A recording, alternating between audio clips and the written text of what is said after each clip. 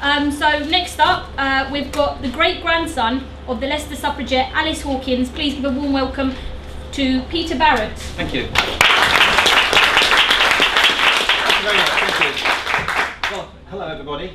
Uh, I think the first thing I'd like to say is that I'm so pleased to be here this evening and be part of the petition and the movement to, to have a minute's silence. I mean, we're going through the centenary years of the suffragette movement. 2003, the formation of the uh, WSPU. My great grandmother's first arrest was in 2000, uh, 1907, 2007 centenary.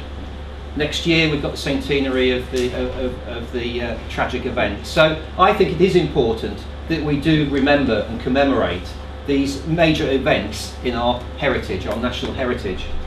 Um, for me personally, I first learnt about my great grandmother, who was a suffragette, Alice Hawkins, uh, when I was a boy of no, no more than seven or eight.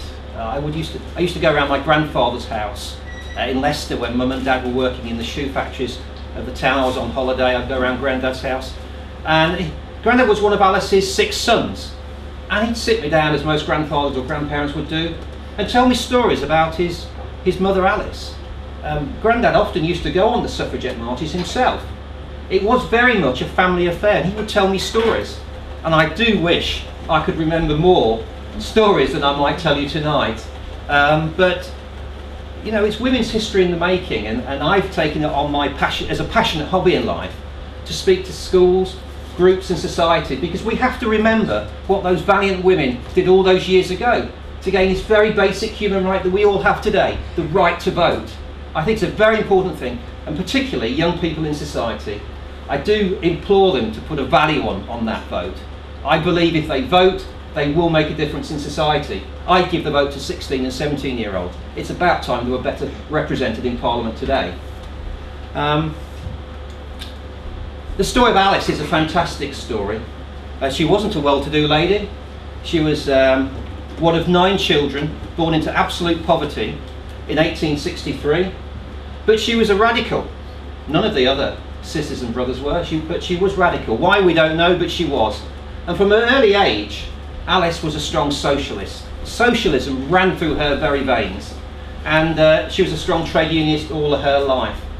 Um, but after 20 years of campaigning in the trade union movement and in the um, in the Independent Labour Party. In 1907, not as a suffragette, she actually came down to, uh, to here to central London from Leicester. It was the day of the state opening of Parliament. The women, Alice went to a suffragette meeting in Hyde Park, 300 women were there, Sylvia and Christabel Pankhurst included. They were hoping to hear of news in the King's speech that day of a bill to go through Parliament that would finally give women the vote. There was no news that day of such a bill. So Alice and others marched into central London to Parliament Square and they protested outside the gates of Parliament Square, uh, Parliament itself.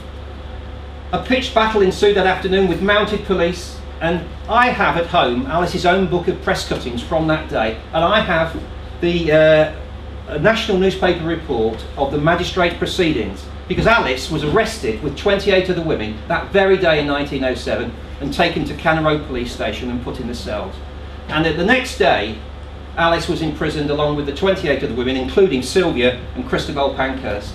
And the family believed that whilst Alice was in prison on that first occasion, through talking to the suffragettes that she was in prison with, she actually decided to become a suffragette herself. So it's no wonder that just in the next few months, Alice formed the uh, Leicester branch of the WSPU. And I have to say, Helen's grandmother Sylvia was a key strength in Alice's life uh, they would, Sylvie would come up to Leicester to support Alice. And in 1907, uh, Alice invited the Pankhurst sisters to come to Leicester to meet the workers at the shoe factory where she worked. And during those few weeks in Leicester in 1907, Sylvia sketched what we believe to be Alice at work. And you'll find around here uh, the sketch that Sylvia Pankhurst drew all those years ago. So it's a fantastic story. I'm very proud of Alice. The family is Sue, my sister, Kate, my daughter. Alice was in prison five times. You know, she was a, she was in poverty. She worked in a shoe factory. She worked long hours, but she kept her head up high and she fought for what she believed in. And Alice, to Alice, gaining the vote was a route to empowering women, and to her, it meant having more bread on the table. It meant more negotiating with the male trade unions and the employers in Leicester to pay the women what was their rightly due. Because women in the shoe trade union in Leicester in the early 1900s were earning one third of the rate of a man doing the same job. You can naturally understand how the likes of Alice felt, um, well, they felt they had to make some radical changes in their life, and that's why she became a suffragette. But it's a story steeped in, in, uh, in great uh, highs and lows. I mean, her local MP was Ramsay MacDonald. They were like-minded socialists, and she knew Ramsay MacDonald, and with Mrs MacDonald, she'd formed the Women's Labour League in 1906. But MacDonald criticised Alice for her militancy, said she was doing no good to the cause of women's rights. So five times she went to prison, twice in Holloway jail. The second time she, she went was uh, Black November in uh, 1910. Uh, three times in Leicester. On one occasion, she, um, Alice and other suffragettes went to a golf course in, near, near to Leicester and in the dead of night dug votes for women out the putting green. Yes, that's right. And deciding their work wasn't their night's work wasn't done, they um, they built a bonfire. So she went to prison. But um, I mentioned uh, Alice invited, inviting Sylvia Pankhurst to come to Leicester. Well, later in life, Sylvia wrote several books, and she mentions Alice. She said, I moved to Leicester to work among the women in the shoemaking industry. Mrs Hawkins, the WSPU secretary, was also active in the bootmakers union. At night I held meetings for the local SP, uh, sorry I'll start again. At night I held meetings for the local WSPU, amongst whom only Mrs Hawkins, as yet, dared mount the platform. Why? Because the other women were actually in fear of losing their jobs if they stood up and spoke out against their lot in life. But Alice had worked for a workers' cooperative and they supported their employers and uh, their employees. We're lucky as a family We've got probably one of the best collections in the UK today that's still in the hands of the descendants of those valiant women, and, and that's why we're so proud as a family uh, of Alice and the collection. We've got Alice's sash, her hunger strike medal, her prison notes, uh, a moving letter of condolence from Sylvia Pankhurst in 1912, where one of their sons dies suddenly, numerous postcards. We've got her notes from Holloway Jail. It is a tremendous collection. And I do have a website. If anybody would like to ask me afterwards, I'll, I'll let you know the website name. So I, I speak, I mean, I'm a, I'm a management accountant by profession, but I speak to groups and societies and schools where I can, as I said earlier about Alice, because I think that not only is it, is it a part of history, it's a moral story of today.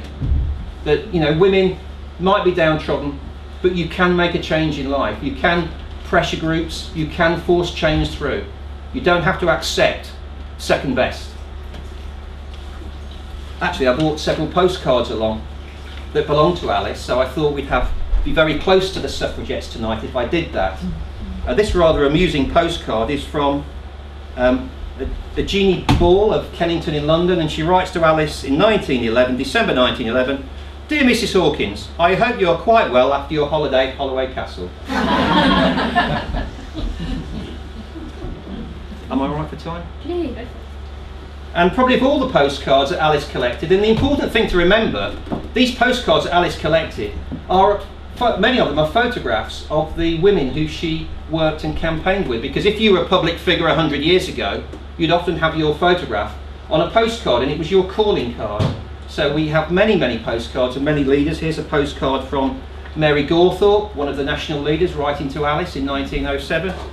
After, clearly we've got postcards of Christabel Sylvia Pankhurst. In fact, a story my grandfather, one story I remember from my grandfather when I was a young boy, he said that on, on several occasions, the Pankhurst sisters would send up their family car to Leicester to collect Alice to take her off to a rally. And I've actually got a photograph of the, of the family car. And my granddad, who oh, he would be about uh, 15 then, said that the, uh, the chauffeur, not quite knowing where their, their terraced house was, they lived in a rented terrace, not quite know where their terraced house was, would slowly drive along one street and then along another street and then he'd drive along another, trying to find the house. And apparently, by the time he pulled up outside their house, there were hundreds of children following this car.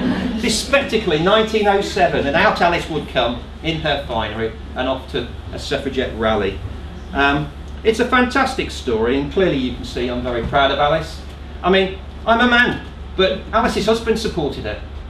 Alfred would often go to, to public meetings to heckle public figures of the day when the women were excluded from the meeting. He heckled Churchill on two occasions. Yeah. On the second occasion, well, actually, for those that know, Alfred was a member of the Men's Political Union for Women's Enfranchisement.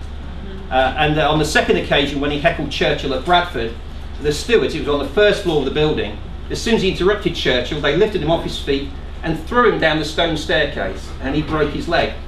So we have Alfred in uh, hospital in Bradford in November 1910 with Alice imprisoned in Holloway on that same occasion. In fact, the Men's Political Union sued the Young Liberals of Bradford for damages the following year, and Alfred got £100. When I first met my mum's cousin Madge about eight years ago, a, a granddaughter of Alice, I said to Madge, tremendous amount of money in those days.